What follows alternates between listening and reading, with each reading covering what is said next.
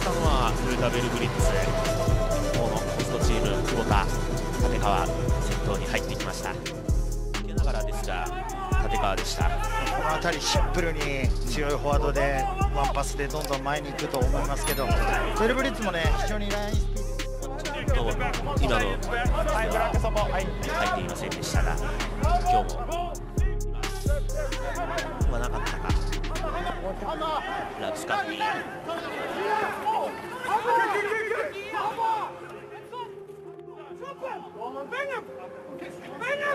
藤原からラブスカフに押し戻したのがさあここからスピアーズ末永は長いパス。キラキック。抑えたのはトヨタ。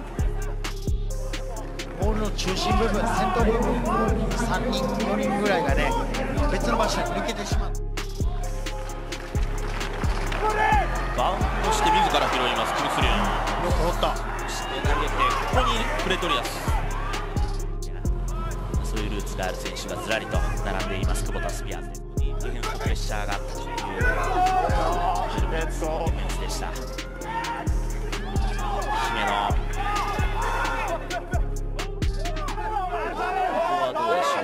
なんとかベルブリッツがキープしました。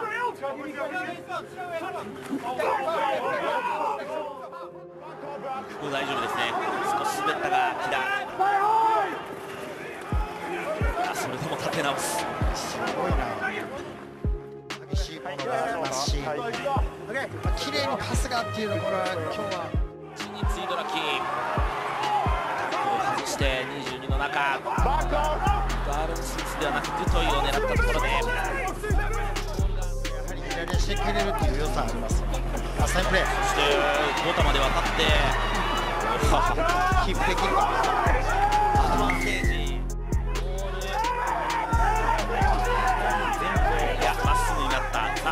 トイが手を伸ばす。ユトイが手を伸ばしてボールはスピアーズキープ。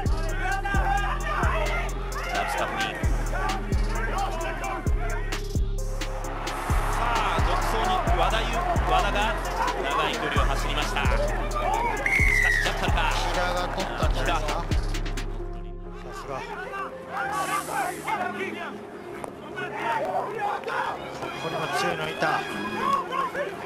ベティヘル。いいボール。エラー。いきなり。入ってきた。今は雪が止んでいます。とキムスルン足をかけて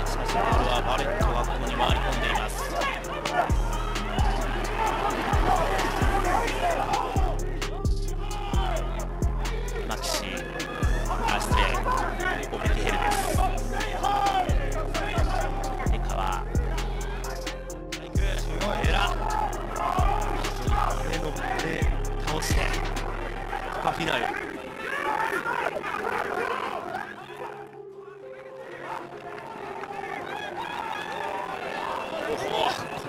返して倒れないやはりあのペータース今日スラムハーフオーデン・バレットがこのエンジンで話をしています時間の使い方とは専門職なんですけど怪我のリスクっていうところはあまりないっていうところもあると思います。